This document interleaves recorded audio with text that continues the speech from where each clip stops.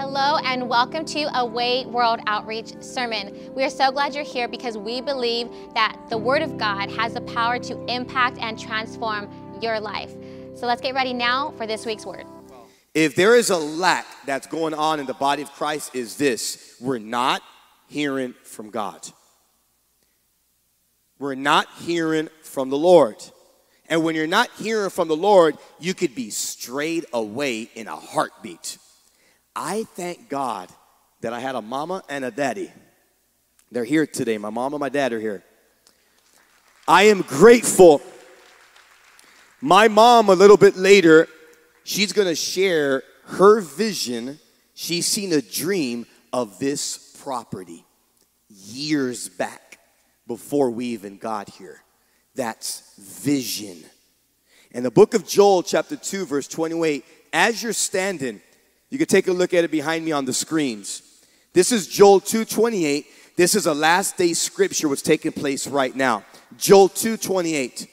Then after doing all those things, I'm going to pour out my spirit upon all people. How many want the spirit of God upon their lives? How many want the spirit of God in their families, their children, this church, this community? We just had a shooting in San Bernardino 2 days ago. Four people, they sprayed 12 people right in the corner of baseline. Two people are dead, four are in critical, critical condition. How many know we need Jesus in these streets? We got a pastor, Pastor Hines. Get Pastor Hines a hand.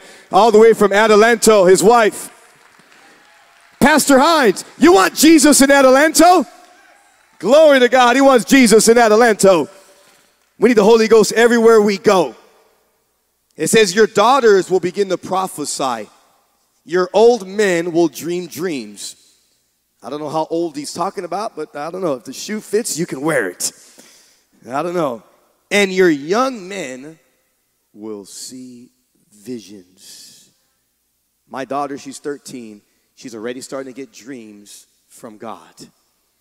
How many want your kids to hear from God? I do. Can you put your hands up in the air really quick as we pray? Can you ask God and say, God, give me vision? Say it, say it, say it, say it. Say it. Say, God, I want vision. I need vision for my marriage. I need vision for my kids. I need, if you have a business, man, you need a lot of vision.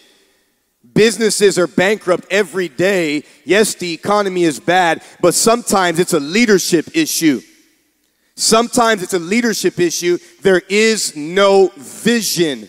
There's marriages that are being destroyed not for the sake of a husband doing this and a, and a wife doing that. A lot of times it's because of vision. We have kids that are going haywire because a lot of times we don't have vision for our kids. Get vision that your kid's gonna serve God. Get vision that your, your daughter's gonna be an amazing woman of God. Get vision that your kid is going to college. Get vision they're gonna marry the right person. Get vision. Lord, we thank you for vision today. And this weekend, we celebrate 14 years and we started a new church in the city of Medford, Oregon. We thank you, God. In Jesus' name, we pray. Amen. You can have a seat. Let's take a look at Pastor Marco this morning, and he's walking into our new family church in Medford, Oregon. Take a peek of this. Hello, everyone. We are here at Medford, Oregon, and we're launching the Way Family Church. This weekend, we hit the streets. We've seen a lot of people come to Jesus. We're going to feed them today. And it's so interesting. We're in a park again. Let's turn around. I want to take you to the sanctuary. You can take a look. There's our sign right there. And here we go right over here as we walk through. This is interesting because this is exactly how we started. We started in a park. We started in a community center. Actually, we started in a gymnasium and we're starting again 14 years ago.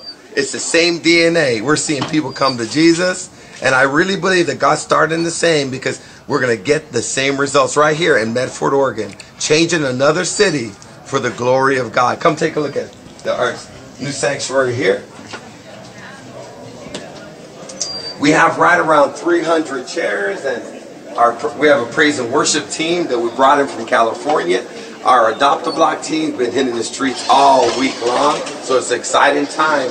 We're getting ready right, right around an hour and a half away from starting our first service. It's right around nine something in the morning. But pretty soon, people from the streets are going to come and receive Jesus as their Lord and Savior. Just follow me. Take a look at it.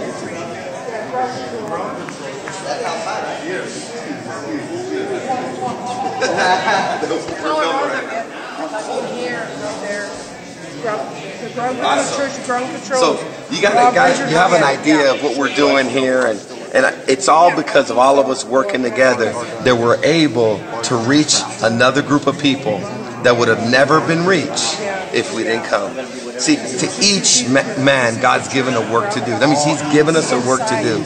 And if we don't do it, no one else is coming. So there's people going to be reached today for the glory of God because of the Way World Outreach in San Bernardino. Thank you guys so much. What an exciting time. We're going to launch this church and we're going to launch many churches across the United States of America in hurting, broken communities, bringing light to dark areas. Love you guys. God bless. Amen. Come on, church. Let's give God a round of applause. Vision. Take out your notepads, your phones, and your tablets really quick. If you're not used to taking notes, I encourage you to take notes. When we minister, you know, there's only a small, small percentage that you're actually going to remember. If you don't write it down, you can't look at it later, and it's hard to even remember what God is saying. We're currently in a series that's called 2020 Vision. Here's a quote Throughout history, progress has been made only by people who have seen things that were not there. What is vision? Let me give you a definition. Here's number one What is vision? Vision is seeing the future before it comes into being. Again, what is vision? Vision is seeing the future before it comes into being. Habakkuk chapter 2, verse 3 says this This vision is for a future time. When is it for? When is a vision for? Is it for now? Future is not, vision is not talking about the present and it's not talking about the past. Let me say that again. Vision, we're not talking about present and we're not talking about the past. We're talking about what? The future. It describes the end and it will be fulfilled. Whatever God has told you, the vision He has given you, we are declaring it will be fulfilled. This building, we will come up with the with the additional 1.4 million dollars, and pretty soon, by the end of this year, it's not going to say the owner's name that's currently on there. It's going to say the Way World Outreach. That this property belongs to Jesus. Can I get an amen? See, a lot of times we get vision and we want it now. With vision of God and any good thing in life, sometimes you got to wait a little bit. How many's ever been in a waiting room of a doctor's office? Does anybody work for the DMV before I say anything negative? Do you like going to the DMV? Okay, people are saying, nah, no. That's like chaotic in there. You waited for your number to be called and you're waiting.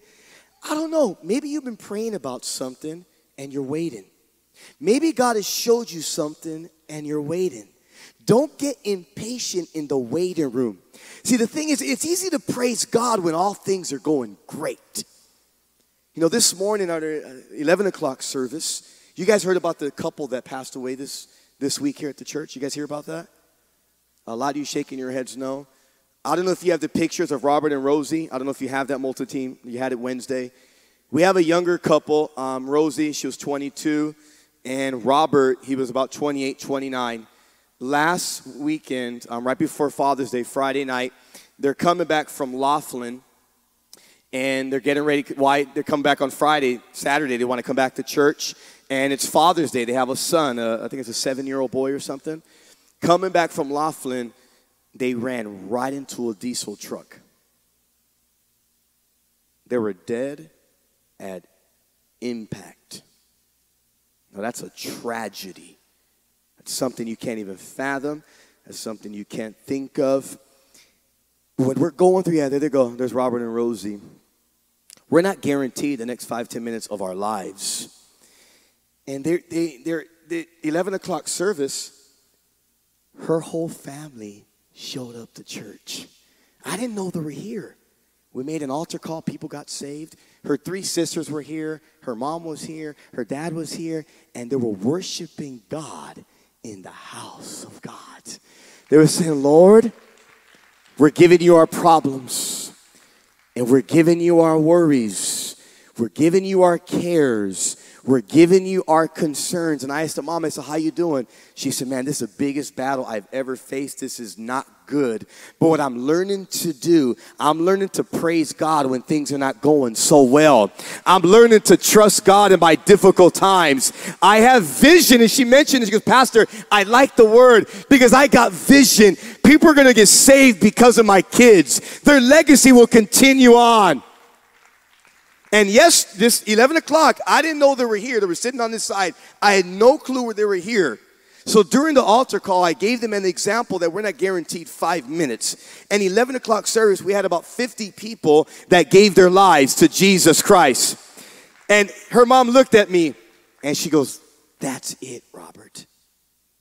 That's it. If you could use my daughter as a story, as an example of life's not guaranteed, continue using my daughter as a story because I have vision. My kids are still going to reach people even though they didn't make that accident. You need vision. Sometimes you don't have a sin issue. The problem is we have no vision. Well, well, Pastor, prove that. Look at Proverbs 29 18, if you could pop it on the screen. Proverbs 29 18 in, in the King James, where there is no vision, people perish. That word perish means they're destroyed, there's, there's massive destruction.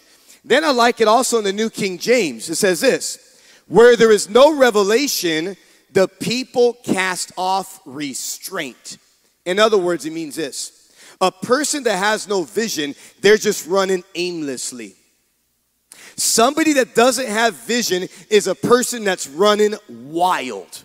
But when you have a vision from God, there's restraints. You're not going off to the club. You're not going off drinking because you got a vision of where you're headed. Most families are not making it today because there's no vision. When is the last time you've hung out with your kids and told them, where, where are you going the next 20 years? Let's sit down and talk.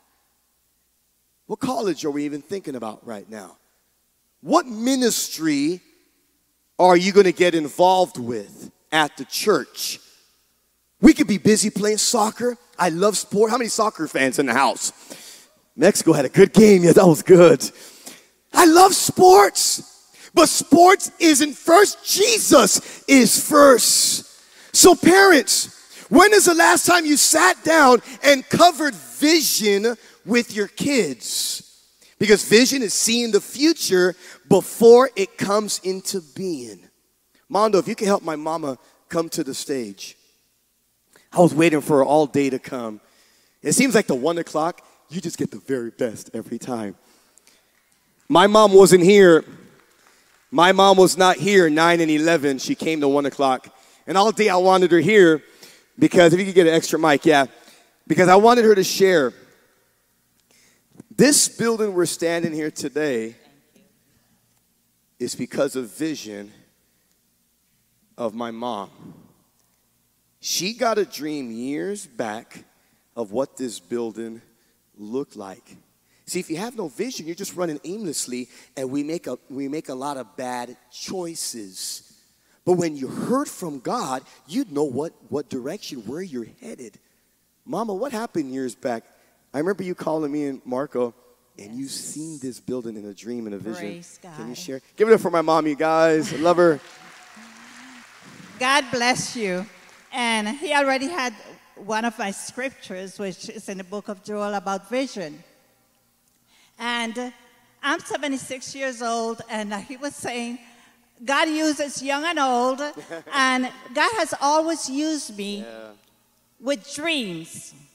Every dream that I have stands on a vision that God gives us. Wow. And um, before I go into the, the dream that I had, I want to say something. Uh, I'll use another scripture before that. It says, when Jesus was here, he was with his disciples. He said to them, they were walking, and he said to them this The harvest is truly plentiful, but the laborers are few. Therefore, pray the Lord of the harvest to send laborers into his harvest. Praise God. God looked from above with compassion. I saw San Bernardino. And he said, There is a work to be done there. There's souls that need to be saved. I need some laborers. Praise God. You're not here by choice. You're here because God ordained for you to be here today. I'm here because God ordained for you to be here. This morning, I don't know how many of you know, but I was diagnosed in, Jan- in December with pancreatic cancer. And there's some days that aren't as good as today. And this morning, when I woke up, I usually come to the 11 o'clock service. I was in horrible pain. I told my husband, I says, I don't think I can get dressed. I don't think I'm going to make it to the 11 o'clock, but I'm going to make it to the 1 o'clock service, I told him. I'm going to make it to the 1 o'clock service. Praise God. And I expected to make it. I'm here because God has a word today. Praise God. So God looked and He said, I need some laborers. Behold, God chose my sons to come to San Bernardino. Praise God. The first dream I had was that I saw angels, thousands of angels surrounded the city of San Bernardino. That was years ago. And I went up to one of the angels and asked that angel, What are you doing here? And the angel said, I'm waiting for the way. I'm waiting for the way. I called my son and I told him, when God calls you to start a church, because I knew God had called him, the name of the church is going to be The Way. Then it was added the Way World Outreach. When we saw this morning my son in Oregon beginning a new mission, that's because God ordained it. Praise God. And God gave a vision to my sons to start this ministry. But this, is, this building here is straight from the throne of God. I had this dream that I was driving on the freeway that passes right in front here. I was, I, I was driving and I looked over and I saw this huge building. It wasn't the colors that it is now because they painted it different, but the colors that it was before. They had been in several places before, Sierra Way and all the other places when they started this ministry. And I says, I called Marco and Robert and I says, guess what? God showed me the building. So as I was driving, I saw this building from the outside and hundreds and hundreds of cars parked outside. There was no sign or anything yet. So I, um, I said, I wonder what's there. This is a Sunday morning, and look, because I saw there were all like warehouses here. Why are there so many people there? A warehouse, they don't have a lot of people there. They have like big trucks and things coming over. I wonder what is there. Then all of a sudden, I saw this building. And from the top of the building, I saw a sign is shot all the way up to heaven. And it said, The way. Praise God. God has a vision, and He gives us a vision.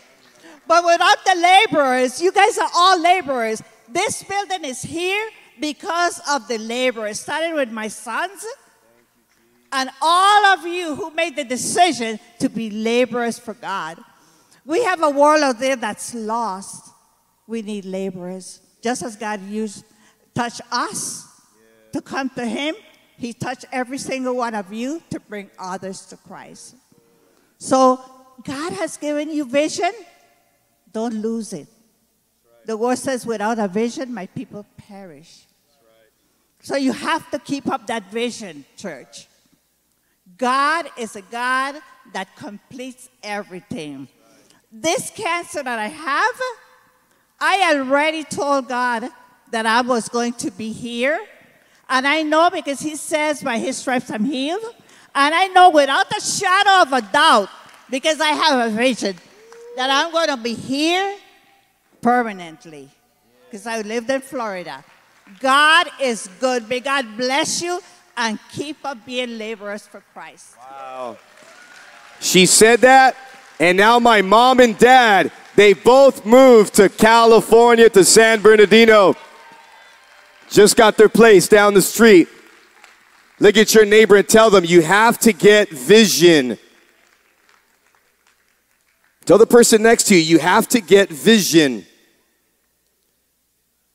Without a vision, we will simply relive, relive the past over and over again. Without vision, you're going to relive the past over and over again. Number two, vision is looking into the unseen realm for our hope. Our hope is in Jesus Christ. Our hope is not in the system. Our hope is not in the government. Our hope is not in a city. Our hope is not in a man. Our hope is in Jesus. How many's put their hope in Jesus in this place? Vision looks into the unseen realm for our hope.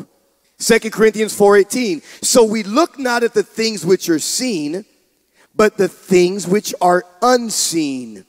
For the things which are visible are temporal, just brief and fleeting away.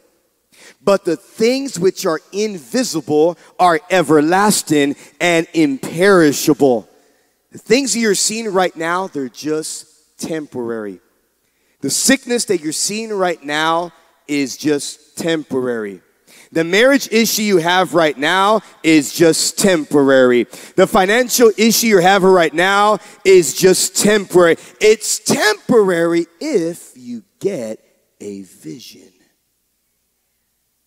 If you don't get a vision, then you just relive it and relive it and relive it. It's like this building. If we don't have vision, well, the owner just stays with the property, keeps it in his name. But that's not the case. He gave us vision. We're going to buy this place, and it's ours. And not only in San Bernardino, we're going to start churches all around the world in inner cities. Just this year, put up the pictures if you haven't seen it. We are building a school, a Christian school in Uganda, Africa, that's reaching hundreds upon hundreds of families with the gospel. I just got news from our pastor in Uganda. They're at our campsite, they're at the school, they're in that region. They just had a big revival, and hundreds of people gave their lives to Jesus Christ. That's vision. But if you have no vision, you begin to perish. Here's number three vision allows us to see what's possible. Vision allows us to see what's possible. Can your marriage turn around? Can your kids get on fire? Can you get past that obstacle where you're at? You, our power we can't, but with God, all things are possible. This is Matthew 19, 26. But Jesus looked at them and said, With people, as far as it depends on them, well, that's impossible. If you're just looking at man, man, that's impossible. But with God, all things are possible. People, we had pastors tell us, don't go to San Bernardino. You're crazy. You won't make it. Nine out of 10 churches in San Bernardino in the first year, they shut down. There's not enough finances. You can't do a ministry. Well, we want to do buses. You can't do buses. Buses cost thousands and thousands. Well, we want a big kids ministry. You can't do a kids ministry. With man, yeah, you can't do it. But with God, all things are possible. All you're you're just a vision away. Write this down. How do you get vision then? How do you get vision? You got to pray to God for vision. God, I need vision. I pray. God, I want to hear your voice. How do we get vision? We pray. We seek the master. He knows everything. Get vision. We pray. How do you get vision number two? Is this find out and clarify what you're passionate about. You're gonna have to clarify what you're passionate about. When you are passionate about something, watch dreams and visions come out of it. But when you're not passionate about anything, no dreams or visions. And number three, how do you get vision? Hang around some visionaries. Hang around some people that are thinking outside the box. I was once told this if you're the smartest guy in your group, oh, some of you guys have heard it. I was once told if you're the smartest guy or woman in your group, get out of the group fast because you're not learning one thing hang around some people that are thinking right. We are who we hang around with. The conversations and the gossip, stay away. Vision. And where's this church headed? We're paying off this building. Where's this church headed? We're starting a church in Medford, Oregon. The fire is so thick in Oregon right now. Just yesterday, Pastor Marco called me and they had a rally because today's their first service, 11 o'clock. Yesterday, they had a rally. See, when you get vision from God, God begins to show up. So they had a rally. They had some music. They start playing. They invited all the homeless people out and different people in the community. And people started coming. They're giving out hot dogs. And then there was a lady blocks away. She's in her house and she hears the music. And she gets out of her house. And when she got out of her house, Pastor Marco heard the story later after she came and explained what happened. Like she went into a trance. She got out of her house and she just starts walking towards the music, towards the rally. Then it got even crazier. She takes about 10 yards, 20 yards, and now she hears an audible voice. And here's the voice. Her name is Deborah. Keep on walking, Deborah. I love you, sweetie. Keep on walking. Your miracle is right around the corner. Keep on coming, honey. Well, she she freaked out. She stopped. She was, Who's talking to me? It was the voice of God. And God, how do you know the voice of God? This is the next thing. God says, It's me, your heavenly Father, Debbie. I've been calling you and I love you. Keep on following the music. Keep on going, sweetie. I love you. It's your heavenly Father that's calling you. She walked for blocks and blocks. She finally got to the rally um, our, our, our, worship team, um, Emilio Nas, they're helping us out. They're singing. And this lady, no one knows her. We don't hear the story. Pastor Marco doesn't hear the story until the whole event is done. Then he explains, she explains herself. She walks down during the music and she lays on the asphalt and just pours out and starts crying. She gets delivered. We try to lay hands on, and some of the altars said, just let her go for a second. This lady's having a moment of God right now. See, when you get a vision from the Lord, it changes everything. Be careful you're not chasing your own vision.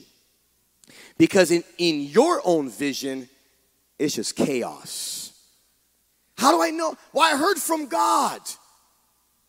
One of the hardest things for me as a pastor is when someone comes to me and says, this, Pastor, I've heard from God and I got to do this. And when they say, I got to do this, in my head I'm thinking, oh my goodness, did they really hear you, God?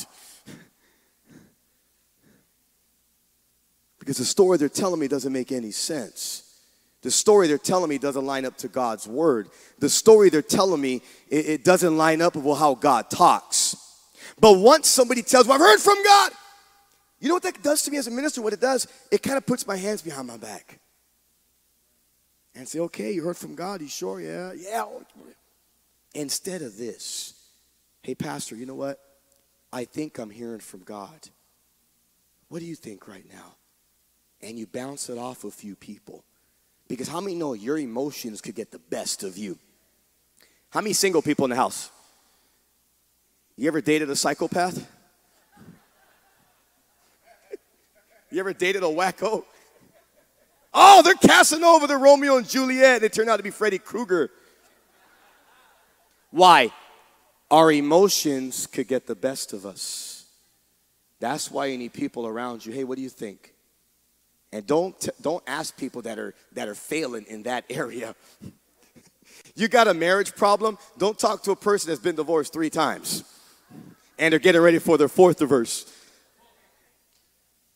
Find somebody that's married 48 years, 28 years.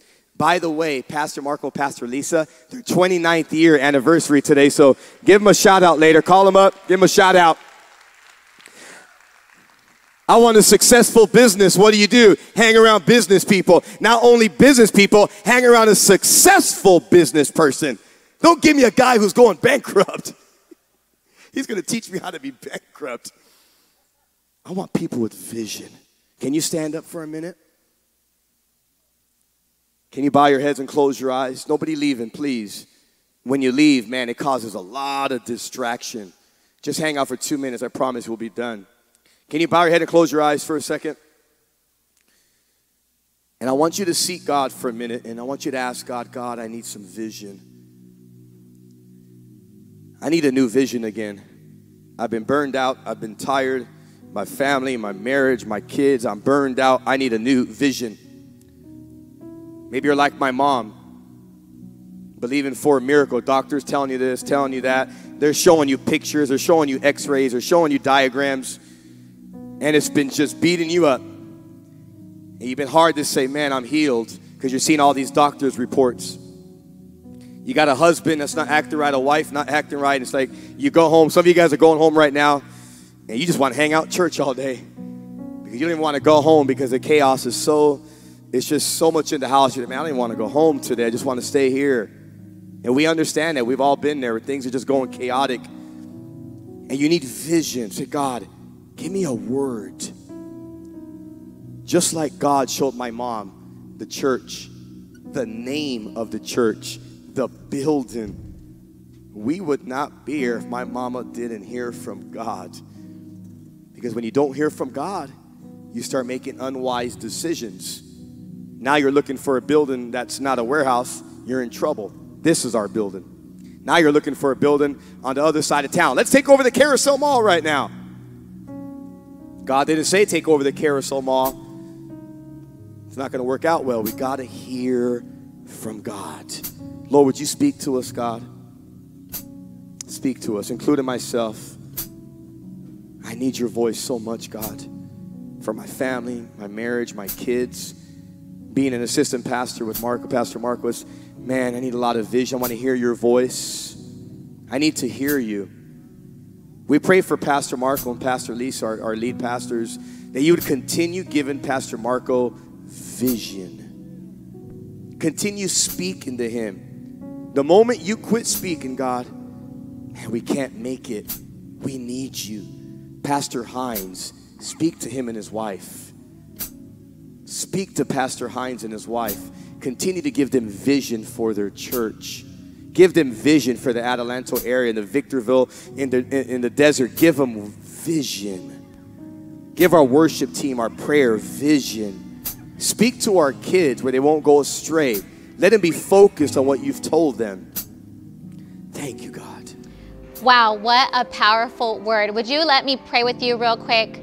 Father God, I just thank you so much for my friend on the other side of this screen. And I thank you, God, first of all, that they're here, that they made their way here to the page. And we thank you, God, that this message impacted their life today. I ask you, Father God, that this word would go into their heart and touch those, those deep places, God, that, that need to be stirred for purpose and for change and for breakthrough and for healing, God, and that you would just provide all the necessary steps to get them to the next season that you have for them in their life, God. I ask you, Father, that you would just bless them, that you would encourage them, that you would bring them peace and joy in every area of their lives. In Jesus' name, I pray. Amen.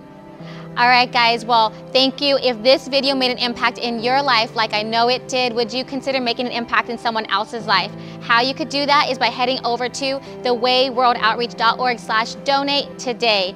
Also, while you're here, why don't you take a look at one of our other great videos that we have on the page. And of course, if you haven't already, hit that subscribe button. We'll see you next time.